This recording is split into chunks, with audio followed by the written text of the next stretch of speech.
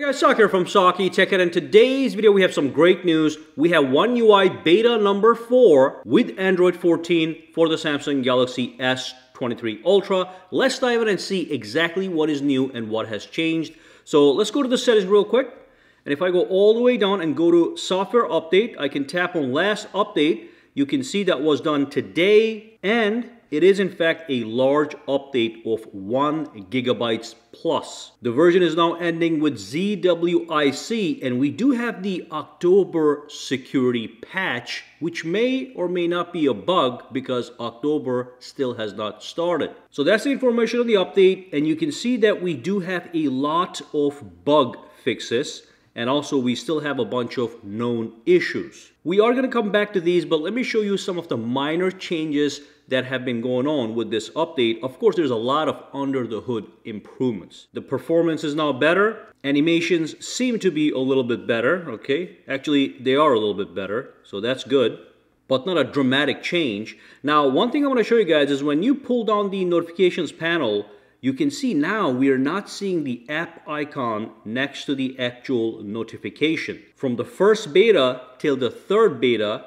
over here, we were seeing the actual app icons. Now we're just seeing standard icons that show up in the notifications panel. Now that is because you can now toggle that on and off. So let me show you what I'm talking about. When you go to the settings, and when you scroll down and go to notifications, and go to advanced settings, you can see right here, we have the option to show app icons in notifications. So when I enable this, let's see if it's going to apply the change, which it did not. Probably we have to just clear this up and wait for a new notification show up, and then it's going to start to show up all the app icons. So by app icons, I mean whatever app icon shows up over here is going to show up in the notifications. What we now do have that setting, as you can see, that allows you to show app icons in notifications. Hopefully we get a new notification in a minute and I can show you guys what's going on with that. Let's see what else is going on. So we do have a new notifications. I'm going to pull this down. You can see now it is the actual app icon right next to the notification.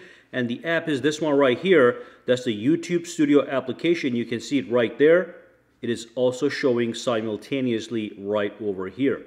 So that's it. Now, one more thing that's happening here that has been reported is if you go to the settings and if you go into the security right here, apparently there's some new animations over here as you can see. Just a minor difference from the previous versions as far as I can tell.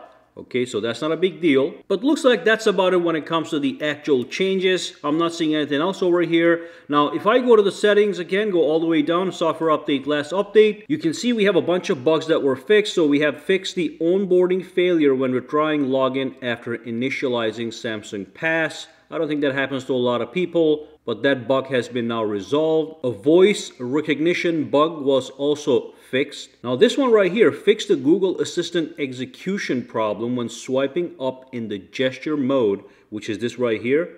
Now it is coming up easily. I was having problem with this executing every now and then.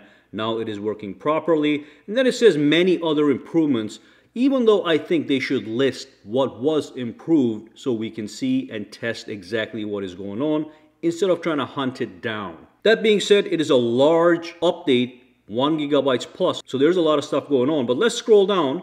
And then we still have some known issues that you can pause and read. So if you are having these issues, it's still actually happening. Okay? Now beyond that, like we said, the performance of the phone, it is super smooth, just like the previous beta, but it does feel slightly more refined as far as overall fluidity is concerned. So let me just launch a couple apps here and see what's going on. Okay, one, do it a couple times it seems to be a little bit less bouncy. So previously when I launched the uh, calculator and when I just go like this, it feels like the app bounces all over the place. But this time it seems to be a little bit more calm and collected, but that just could be my perception. You let me know down below what you feel with the fluidity of the system. Let's look at the folder animations here. Okay, just as before, nice and smooth. Okay, let's do this, pull this down Okay, that looks the same as before as well. No changes here as you can see. Remember you can tap the edit button and edit the notifications panel this way. I do like this look here And let's also quickly look at the device care because they've been made, making some changes in there. Okay, stuff like adding the performance profile right over here and the auto optimization. We had some changes in the battery, so this graph is a little bit different, but not that different. Okay, so no major changes in the device care either. Uh, overall, Great update. It just means we are closer to the final release where we can finally enjoy the phone with One UI 6.0 with minimum bugs. If you have discovered something new, drop a comment down below. Let me know. For now, guys, have a fantastic day, all right?